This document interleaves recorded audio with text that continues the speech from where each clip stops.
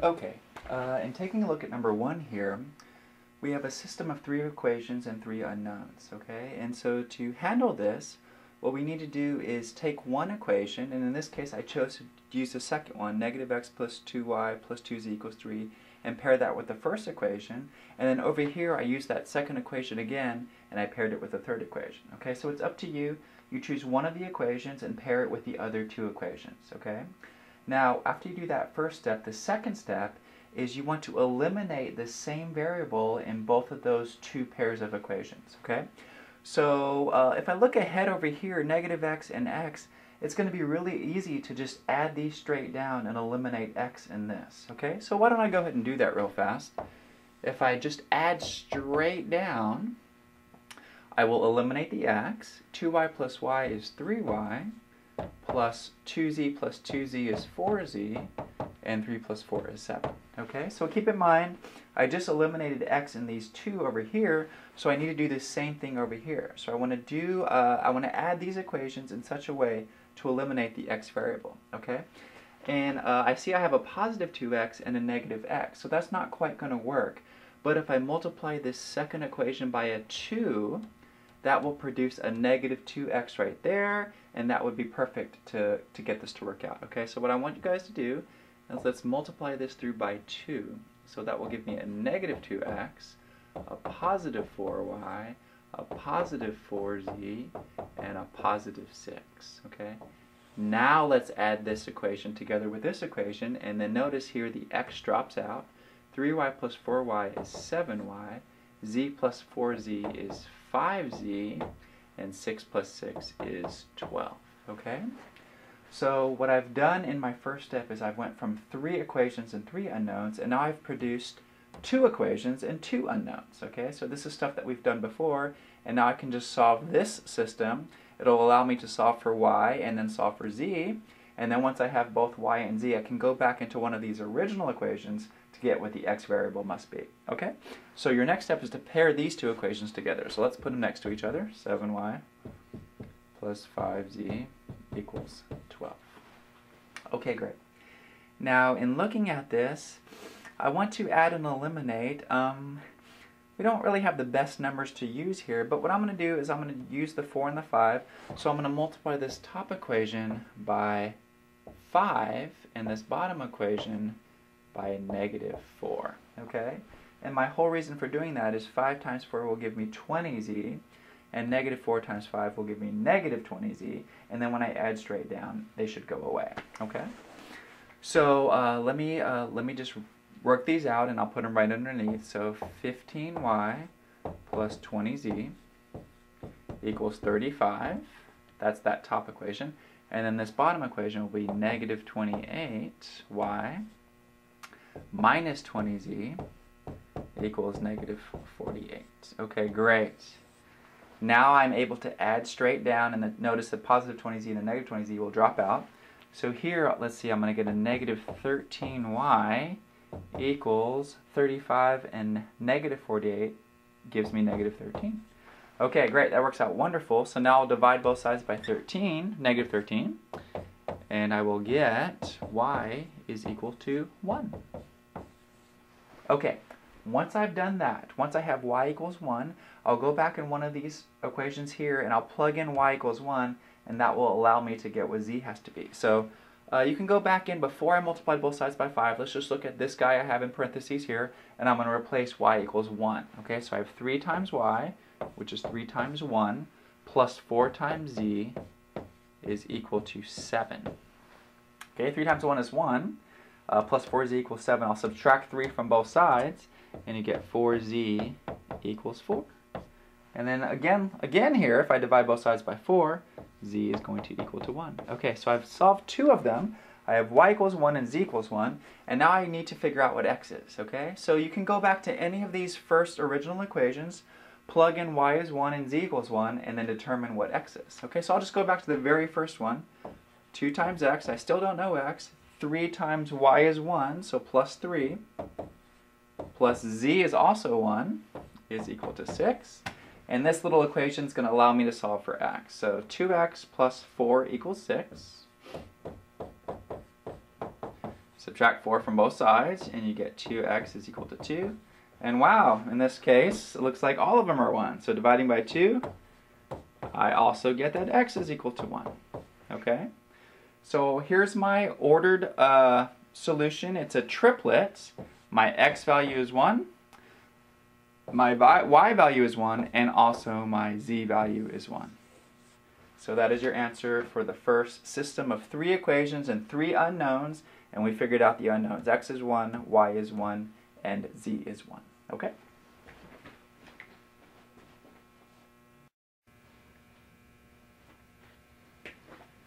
Okay, on number two, what I chose to do is I took the equation x minus y plus 3 is equals 2, and I paired that equation with the other two equations to try to solve, like we did in the first example, the uh, system of three equations and three unknowns, okay? Now, uh, in putting these two together, it's going to be really easy to eliminate y. So I'm just going to leave it as it is. I'm going to add straight down, and negative y plus y will drop out the y's, okay? So let's do that real fast. I'm going to put a plus sign here. Draw a line, x and 2x is 3x. Negative y plus y drops out. 3z plus 4z is 7z. And 2 plus 3 is 5.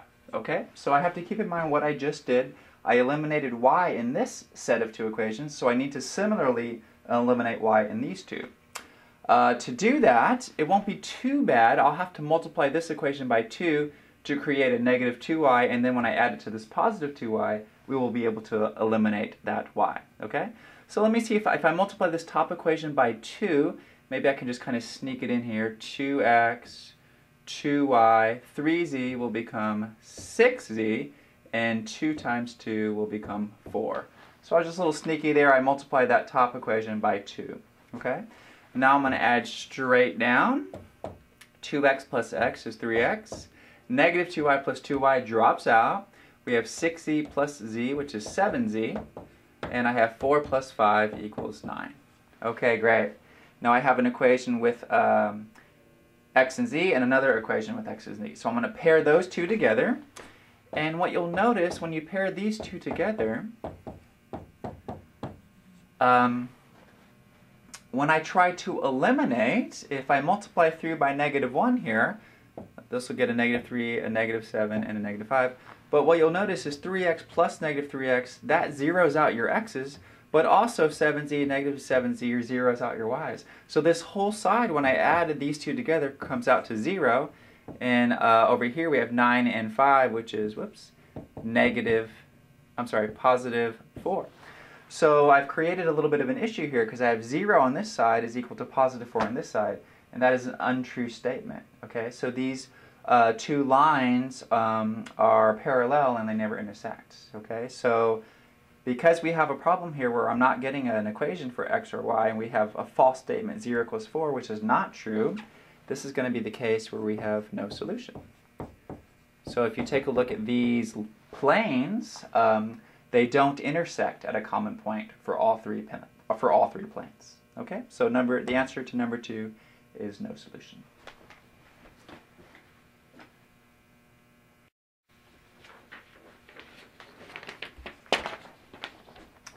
Okay, if I look a little bit ahead on number three, I notice the third equation says 2y plus z equals 10, and it doesn't have an x in it at all.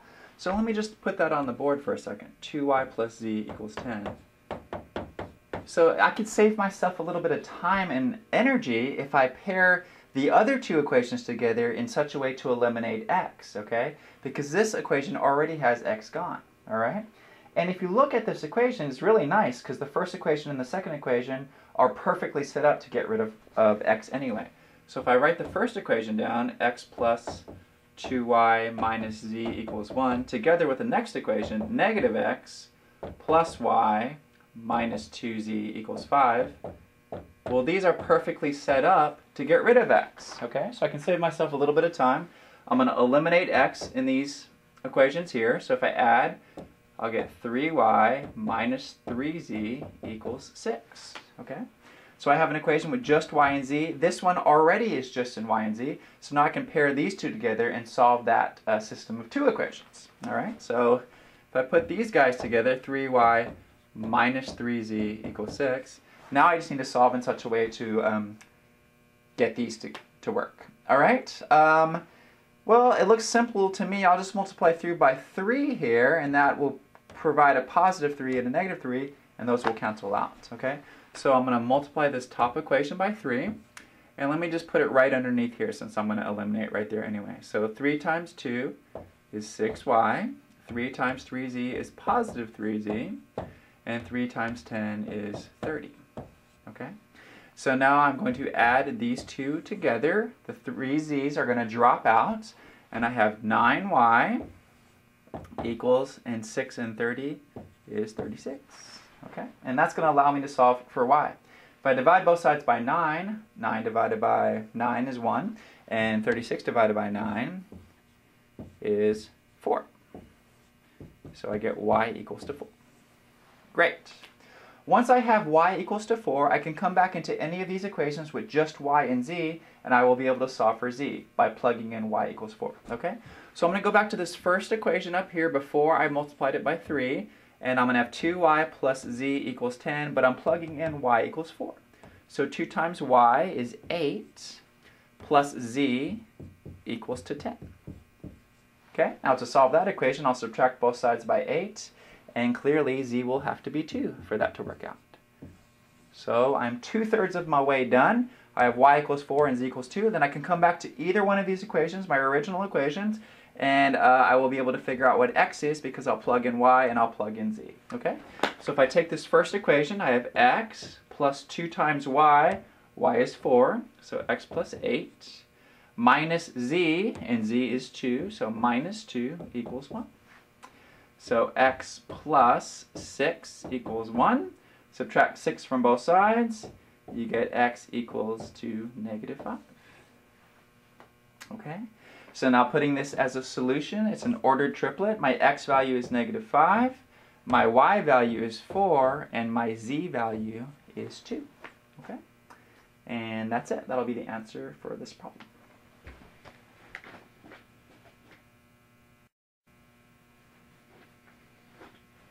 Okay, if you guys take a look at number four, you'll notice very similar to the last equation, or the last problem we worked, you have one equation that doesn't have one of the variables, okay?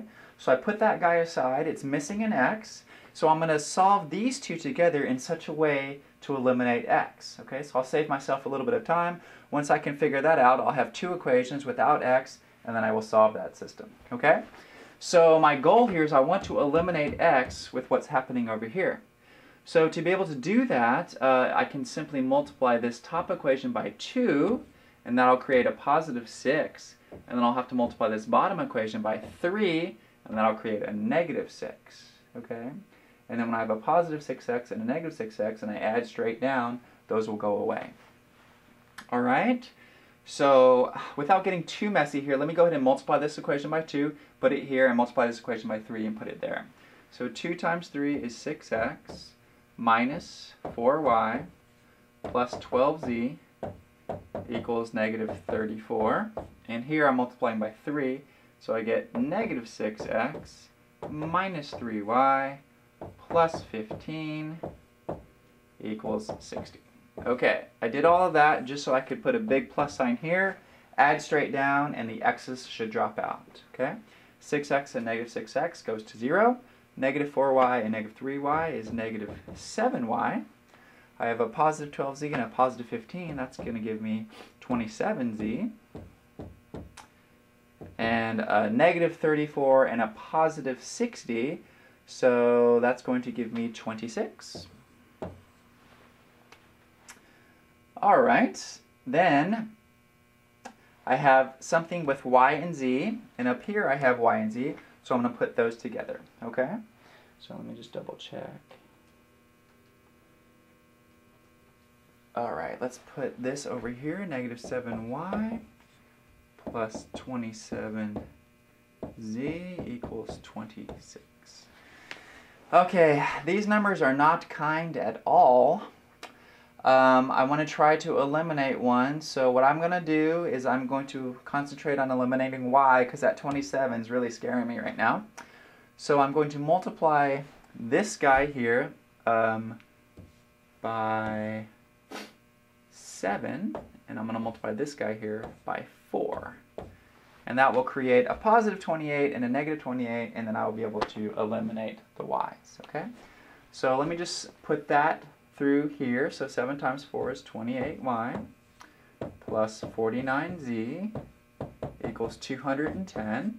Here I'm multiplying through by 4, you get negative 28y. Let's see, 4 times 27 is 108. 108z. And 4 times 26 is 104. All right, put a big plus sign here. I'm going to add straight down. That and that we know is 0, and we have 108 plus 49, which is 157z. And 210 plus 104 is 314.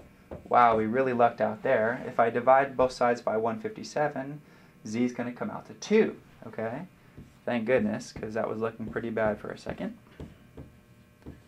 So we have z equals 2. Okay?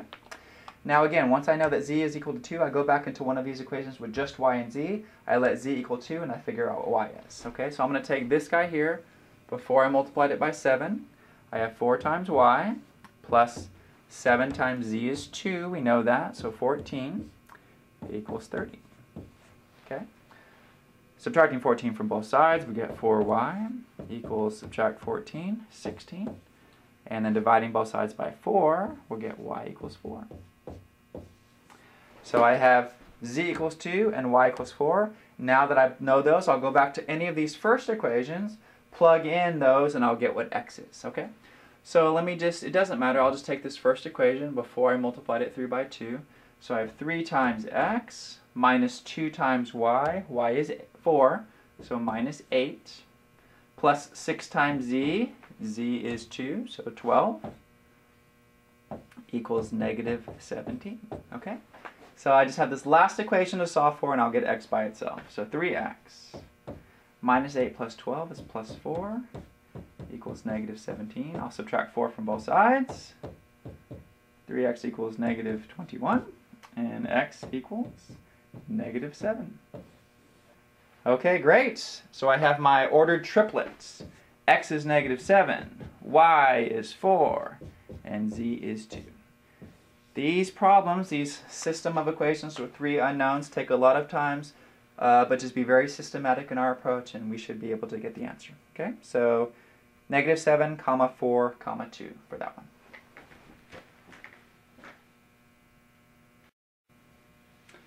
Alright guys, on number 5 we're asked to find the determinants.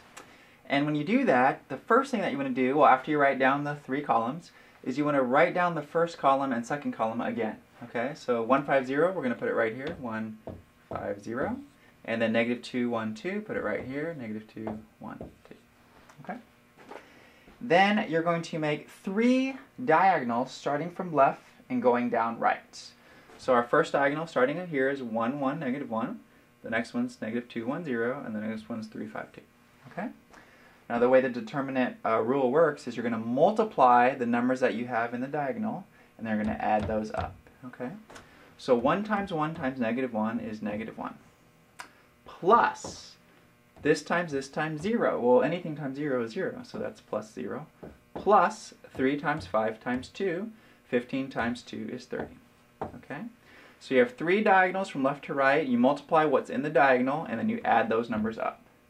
Then you're going to go three diagonals this way. And then you're going to subtract those, okay?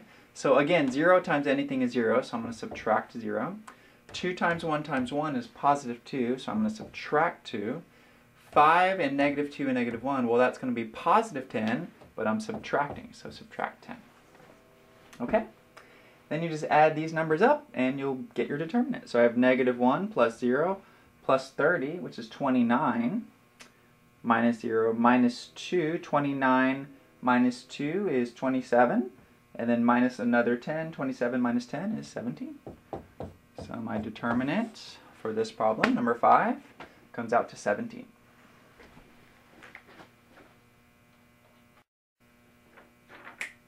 Okay, number 6, we're asked to find the area of a triangle with the vertices negative 1, 2, 5, 6, and 2, negative 3. Okay?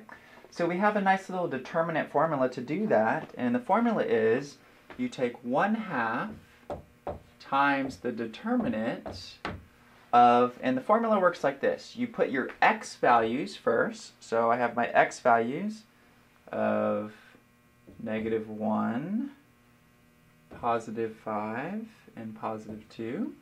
And then my y values next. So my y values are positive 2. You got to keep it in the same order, 6, and negative 3. Okay, so you have your x values, negative 1, 5, and 2, and then the y values, 2, 6, and negative 3, and then you put 1, 1, 1. Okay? So I need to find the determinant of this guy. And the way I do that is just like I did the last problem. I'm going to write down the first column again, negative 1, 2, 1, and the second column again, 5, 6, 1. Okay? So this guy, this guy, and this guy. So negative 1 times 6 times 1 is negative 6, plus, that'll give me negative 15, plus 2 times 2 times 1 is 4. Now I'm going to subtract these diagonals, this one, this one, and this one. So 1 times 6 times 2 is, I'm subtracting 12. 1 times 3 times negative 1, I'm going to subtract 3. 2 times 5 and 1 is 10, so I'm subtracting 10. Okay? So I want to add up and subtract these numbers. I'm just going to cheat and use my calculator real fast. So negative 6 minus 15 plus 4 minus 12 minus 3 minus 10 comes out to negative 42. All right, so it's 1 half of negative 42, which is negative 21. Okay, and then the last thing that I forgot to write in my formula is it's the absolute value of all of this. So the absolute value of negative 21 is positive 21. Okay? So you put in your vertices, your x values, then your y values, then 1, 1, 1.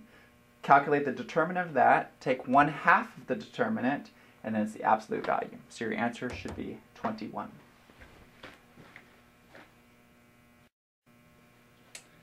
Okay, number 7 here. Um, we have a lot of things to do. Uh, the first thing that I would, well, we have a power to a power. So anytime you have a power to a power, you multiply the exponents. So if I multiply k to the negative 1 half times 2, well, this is 2 over 1.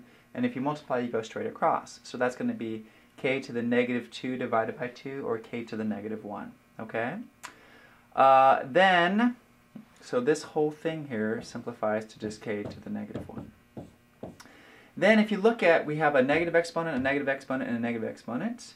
So all of the negative exponents I'm going to move. Okay, If they're in the numerator, you move them down. If they're in the denominator, you move them up. And I'll leave the positive exponents alone. So I have 2 to the 1 half, stays there. This guy is going to come down to the denominator. Uh, k to the 3 fourths stays up there. 2 to the negative 1 half is going to come up and be 2 to the positive 1 half k to the negative 1 is going to come up and be k to the positive 1. And k to the negative 1 half is going to come down and be k to the 1 half. Okay? So all the negative exponents I moved, and then once you've moved them, they become um, positive. Okay. Now, my rule is when I have exponents and I'm multiplying, I add the exponents. Okay?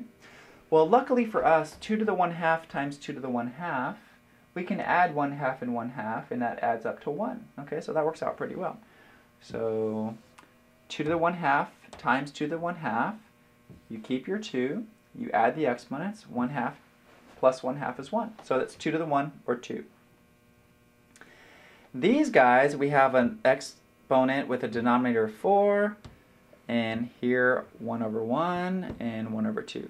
So because I have to work with those k's and get them simplified, I'm going to choose to put all of these k's with a denominator of 4. Okay, so I can add and subtract as I needed. So 3 fourths is already an over 4. 1 over 1 I'm going to write as 4 over 4. 1 half I'm going to convert that to 2 over 4. Okay? Once I do that, now it's going to be easier for me. So k to the 3 fourths times k to the 4 fourths. In the numerator, that's going to create k to the, if I add, 7 fourths. Okay? And now I have k to the 7 fourths in the top, but k to the 2 fourths in the bottom. So now you subtract. 7 fourths minus 2 fourths is 5 fourths. And because there were more k's on top, the answer is going to be in the top. If there were more k's on the bottom, when you subtract, your answer would be in the bottom. So I have 7 fourths minus 2 fourths, and that's 5 fourths. So k to the 5 fourths. Okay? So my final answer, 2 to the 1 is just 2, so 2k to the 5 fourths. There you have it.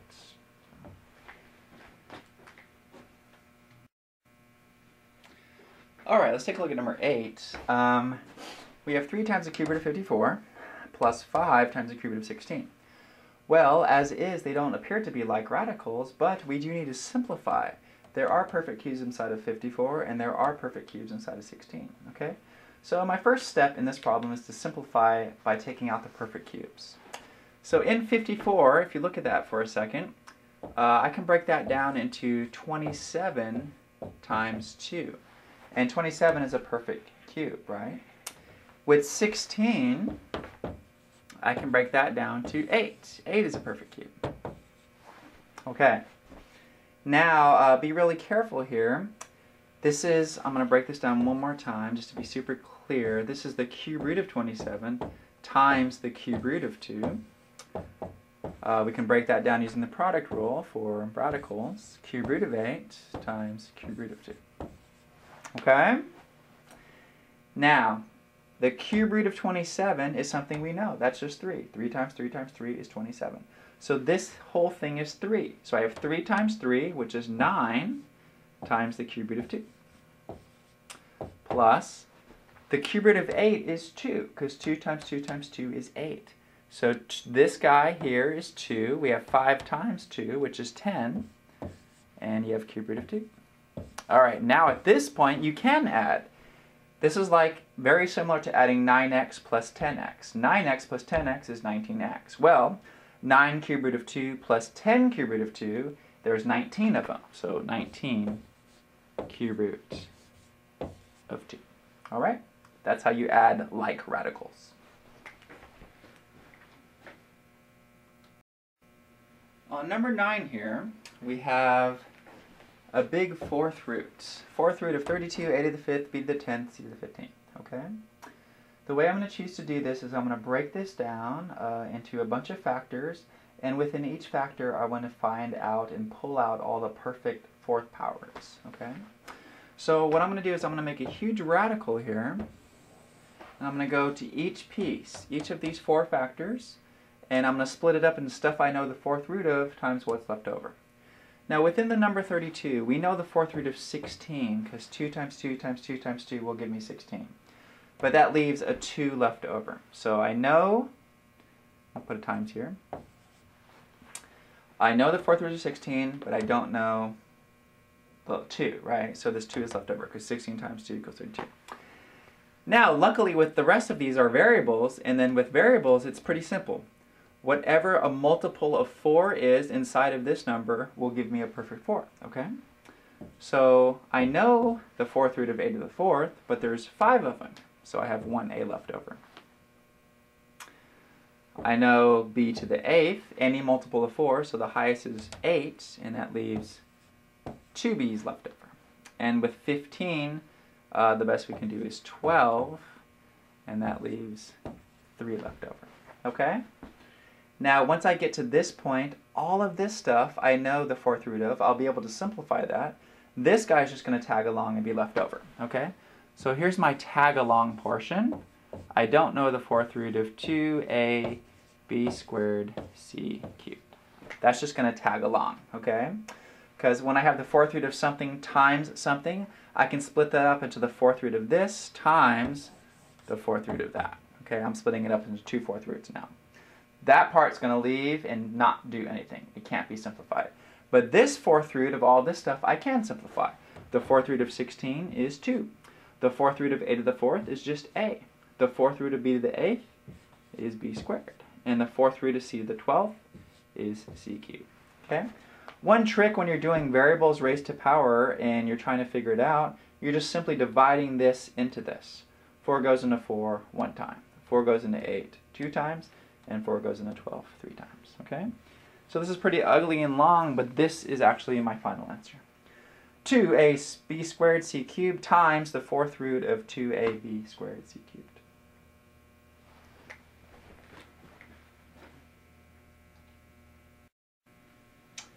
All right, number 10 here, 2 plus 3i times 1 minus i. Well, the way we do this is we FOIL. And anytime we have an i times an i, that produces an i squared, and i squared is equal to negative 1. So we keep that in mind, okay? So here we go, I'm just going to FOIL. 2 times 1 is 2. 2 times negative i is minus 2i. 3i times 1 is plus 3i. 3i times negative i is minus 3i squared, okay? And again, Anytime I have an i squared, I'm going to replace that with negative 1. Okay? So I have 2 minus 3i, I'm sorry, minus 2i plus 3i is plus i. And here we have a negative 3 times a negative 1, which is positive 3. Okay? So 2 plus i plus 3, which is 5 plus i. And that's it, 5 plus i.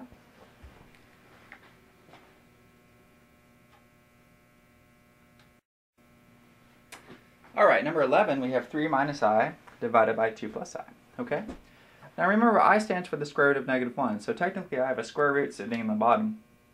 So what needs to happen here is I'm going to rationalize the denominator. So to rationalize, I need to multiply by, instead of 2 plus i, 2 minus i. Well, of course, in math, you can't just multiply by 2 minus i because uh, it's going to change it. Unless we also multiply the top by 2 minus i. Because technically that's 1, and you can multiply by 1. And what this is going to do is going to rationalize the denominator for me. Okay? Uh, you have two FOIL problems. You need to FOIL the top and FOIL the bottom. So it might even help to put this in parentheses so you can see that I have a lot of FOILing to do. Okay, let's do the top first. 3 times 2 is 6. We have minus 3i we have minus 2i, and then I have minus i squared. So negative i times negative i is plus, and then i squared is negative 1, so that gives me a negative 1. Okay? In the bottom, 2 times 2 is 4.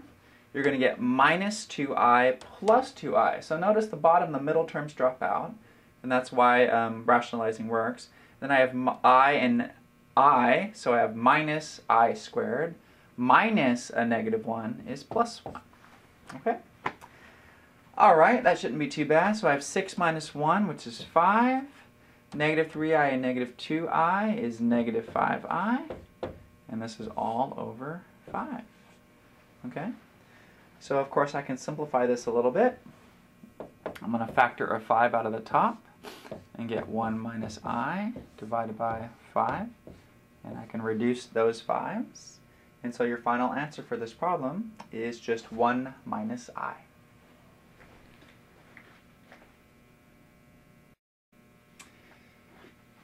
Okay, on number 12, we're supposed to evaluate and simplify i to the 55th power, okay? Now, the way the powers of i works is, well, let's just do it real fast. You have i to the 0 power, i to the first, i to the second, i to the third.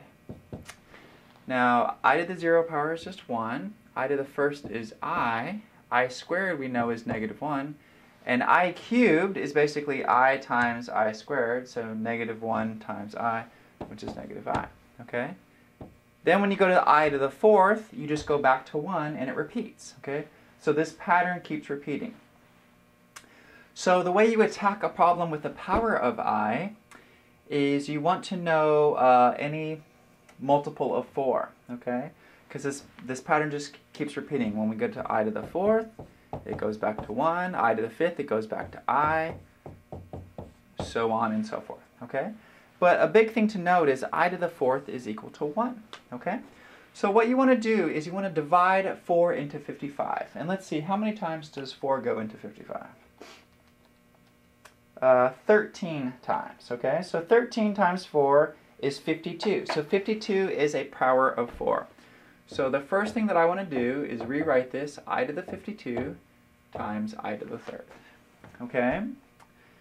Now, what's happening here is this is uh, i to the 52.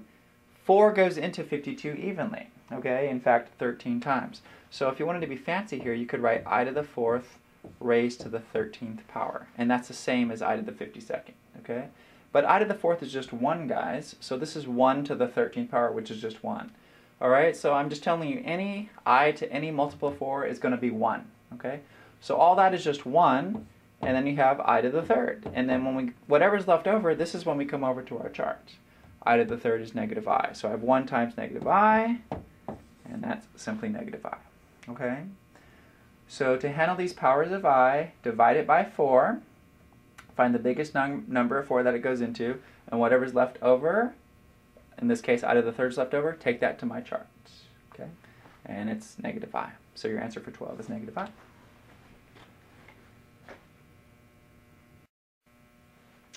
Take a look at number 13 here. You have the square root of 5 minus the square root of 7, all quantities squared. Well, again, that's just a FOIL problem. So you're going to write this out twice and FOIL it out. Okay. So this squared means this whole thing. So I have square root of 5 minus square root of 7 times square root of 5 minus square root of 7. Okay, another FOIL problem. So square root of 5 times square root of 5 is the square root of 25, and the square root of 25 is just 5. Minus this times this is a minus square root of 35 minus another square root of 7 times 5 is another square root of 35. And then negative root 7 times negative root 7 is positive square root of 49, which is 7. Okay? 5 plus 7 we can add together is 12.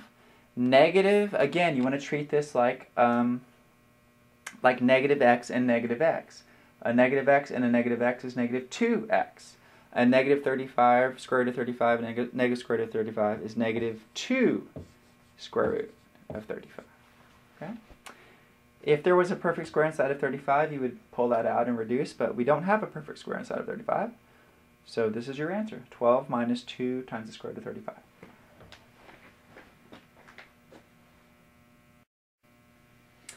Okay, number 14 here, we have negative 1 divided by 8, all in quantity raised to the negative 5 thirds power. Okay? Now, let's handle this negative exponent first.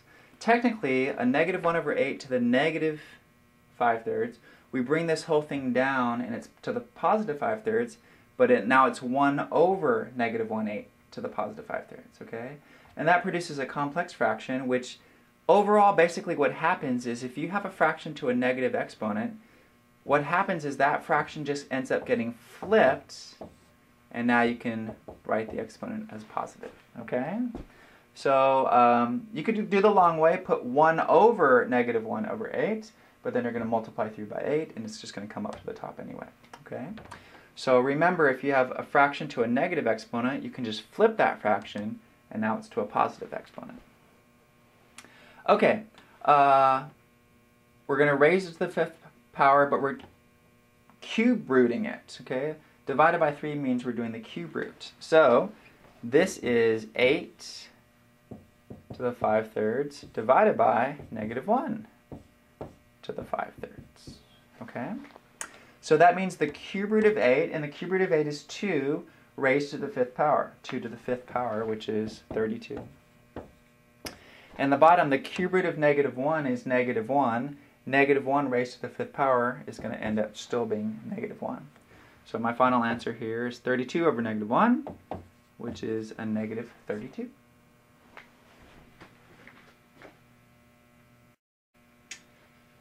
Alright, number 15, we have x squared equals negative 12, and we're solving equations finally. So now we're solving equations. Well, we have a square root property when we're solving equations, and I can take the square root of both sides.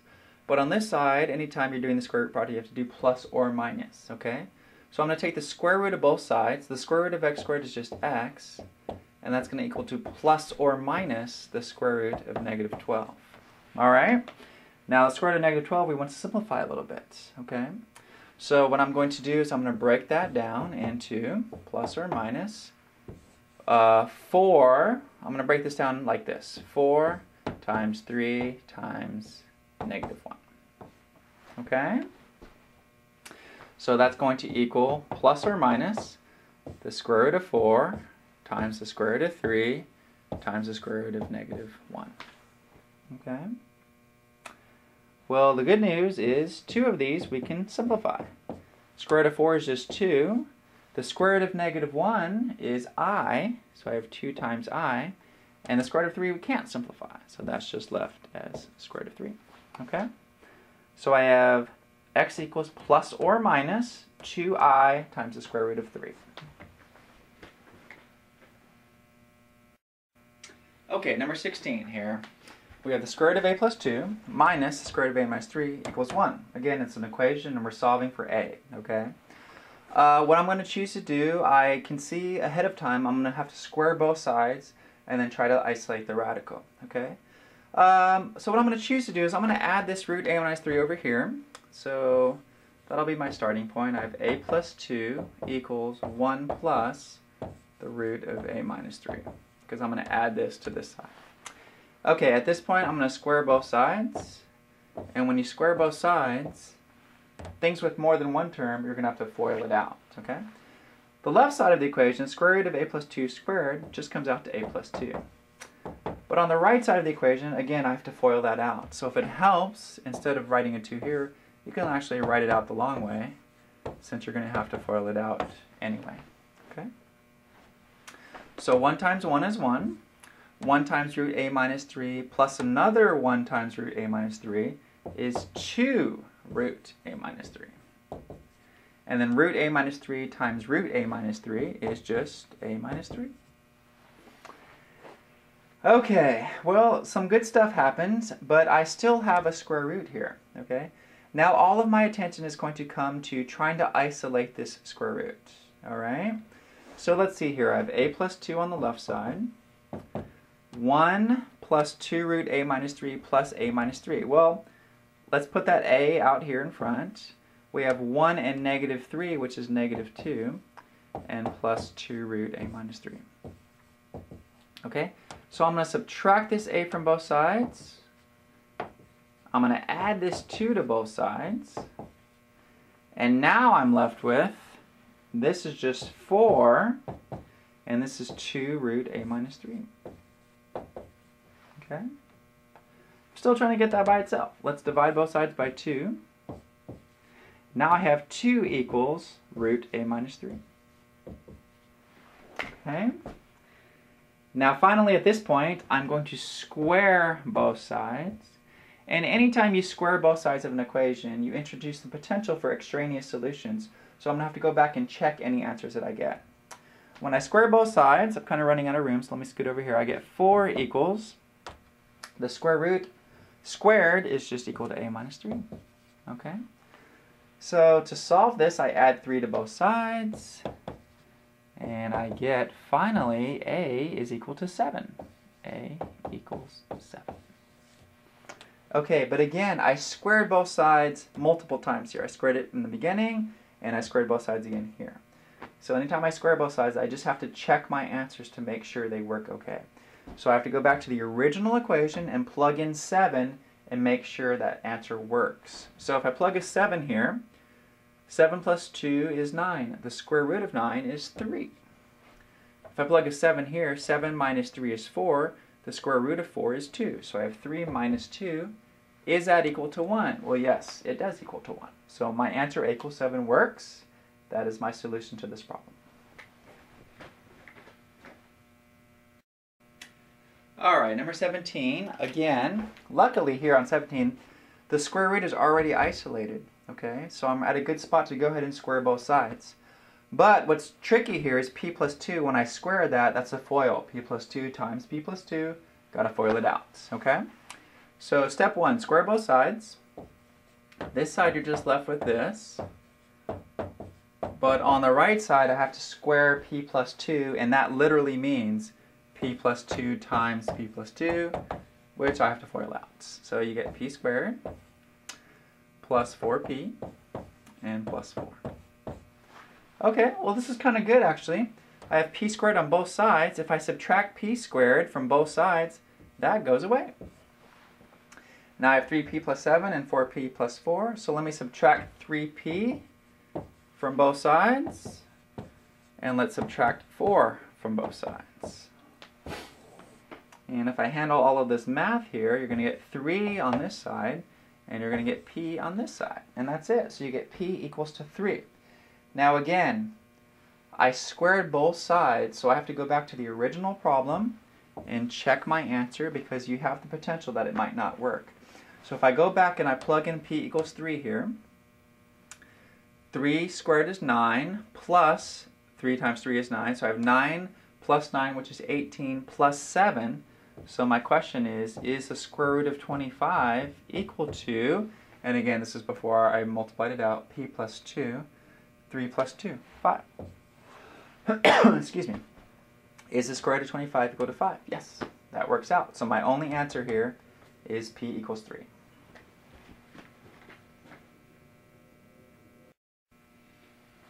Moving on to number 18 here, we have 3, x plus 1 to the fourth equals 3.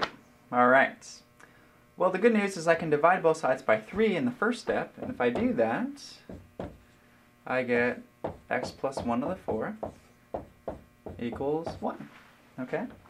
I'm going to solve this by using the square root property. Um, well, technically, the fourth root property. Because to undo the fourth power, I'm going to have to take the fourth root. So I'm going to take the fourth root of both sides, the fourth root, and I have to include plus or minus. The fourth root of x plus 1 to the fourth is simply x plus 1. The fourth root of 1 is just 1. But I have plus or minus there. So great, I have x plus 1 equals plus or minus 1. So if I subtract 1 from both sides, you have x equals negative 1 plus or minus 1. This is going to give me two potential answers. So one answer is negative 1 plus 1, which is 0. And the other answer is negative 1 minus 1, which is negative 2. Okay? I have to go back to the original equation and check both of these, excuse me, to make sure that they work. Okay?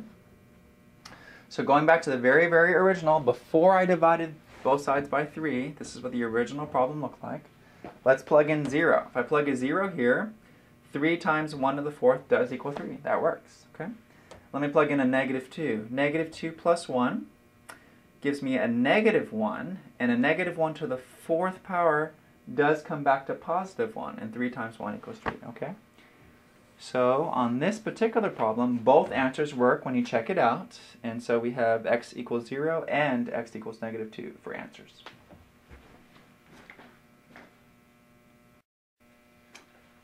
Okay, number 19, 2x minus 1 to the third power equals 27. Well, the good news is the power is isolated here.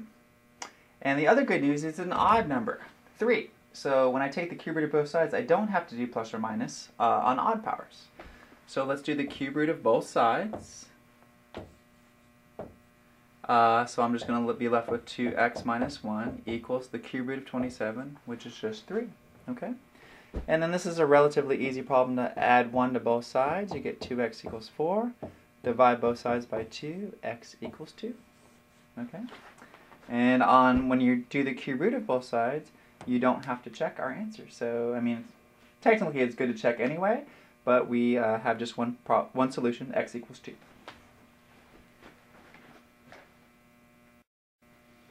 Okay, number 20, we have the equation v equals 4 divided by 3 times pi times r to the third.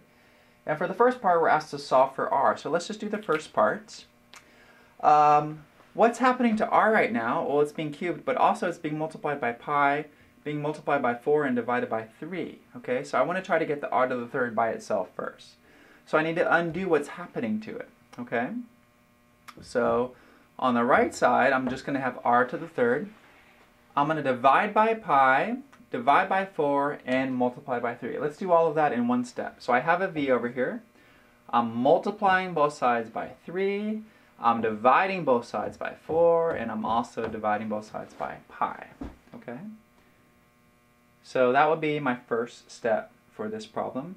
Now I'm going to take the cube root of both sides. The cube root of r to the third is just r, which is what I want. So r equals the cube root of 3 times v divided by 4 times pi. Okay? And that's it for the first part. Okay, on the second part here, we already solved for r. You have the cube root of 3v 4 divided by 4 pi. And on the second part it says find r if V if D equals 50 cubic feet. So I'm going to let V equal 50, okay? So, and then I'm, I'm probably going to have to go to my calculator to simplify this, but I have 3 times 50 divided by 4 times pi, and then I'm going to take the cube root of that. So, let's go to our calculator here and see. We have 150 divided by 4 pi. And that comes out to about 11.93 something, and then it's the cube root of that. So that comes out to approximately, I'm going to go four decimal places, 2.2854. So R is approximately 2.2854. Okay, that's it.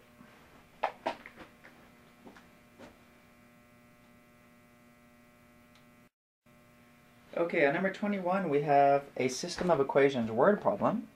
Tickets for a football game cost $8 and $12. Okay, so let's let X be the number of $8 tickets. And let's let Y be the number of $12 tickets. Okay? So 480 tickets were sold. So that gives us our first equation, x plus y equals 480. And our second equation says the total comes out to $4,620, okay? So if I have $8 for each um, of the X tickets sold, plus 12 for each of the Y tickets sold, that comes out to $4,620. and that gives me my equations, okay? Um, you can do this addition elimination or you can do substitution. Either one. Uh, I'm just going to go ahead and do addition elimination. So I'm going to multiply this top equation by negative 8. Let's see what we get here. So, and I'll, I'll just put it right here. We'll get negative 8x plus negative 8y equals, and 480 times negative 8 is negative 3840. All right, let's add straight down the columns. This zeroes out. This gives me 4y equals 4620 minus 3840, 780. And so if I divide both sides by 4, then y equals 195. So that's saying we sold 195 of the $12 tickets, okay? And my very first equation says x plus y had to equal 480, which is how many tickets we sold. So let's figure out what x has to be. x plus 195 is equal to 480. And then, of course, x will just be 480 minus 195. And so x equals 285. Okay? So be very clear, we have 285 of the $8 tickets that were sold and 195 of the $12 tickets that were sold. And that's it.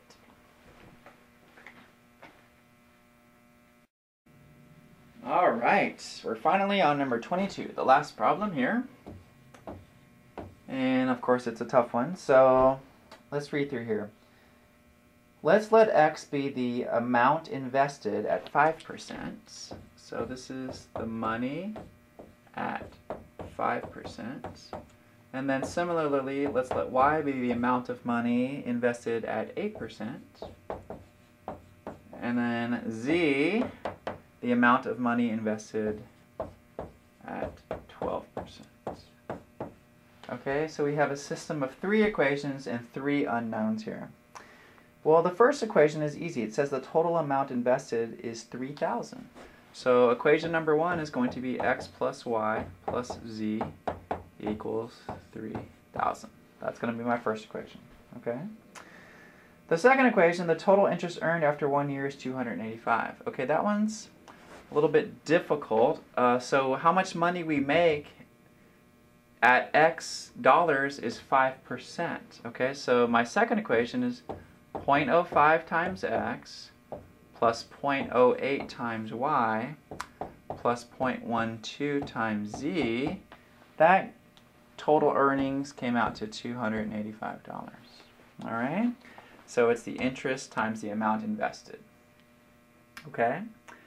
Then finally, the third equation says the amount invested at 12%, so Z is triple the amount invested at 5%. So Z is 3 times X. Okay. So there we have it. Those are my three equations that I need to work with. Okay? So, um, well, luckily this last equation, it only has x and z in it. Okay?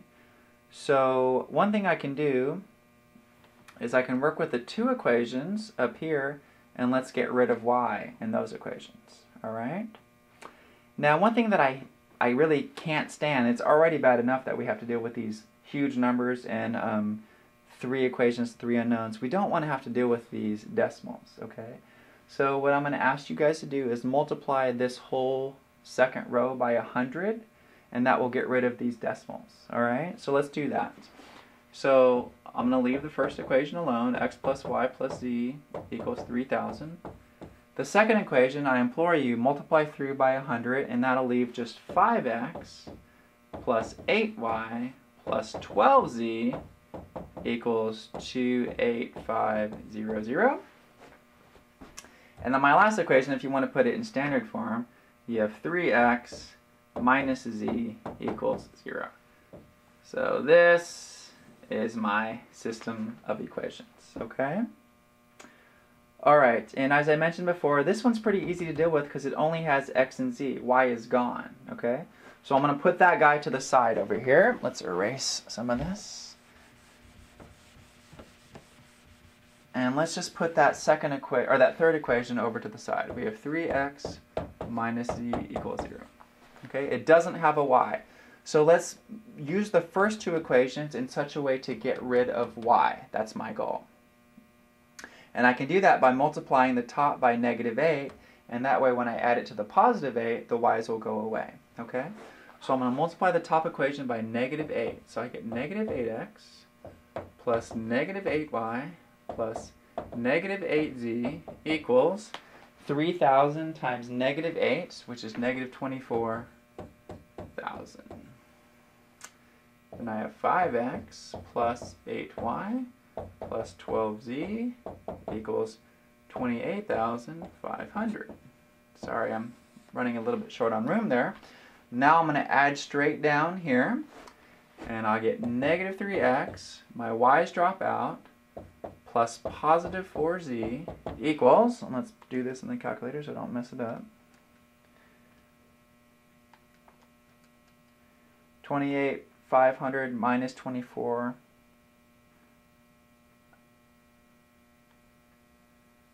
and comes out to 4,500. Okay?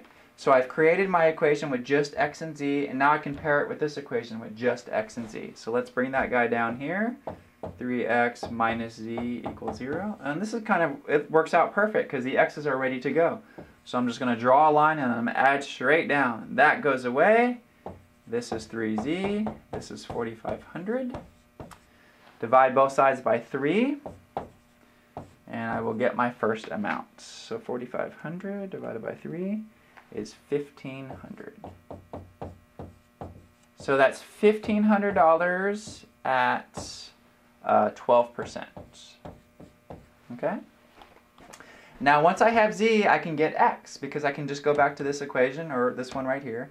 If z is 1500, then let's see what x has to be. So let's come over to the side. 3 times x minus 1500 equals 0. So add 1500 to the other side. We get 3x equals 1500. And dividing by 3, you get x equals 500.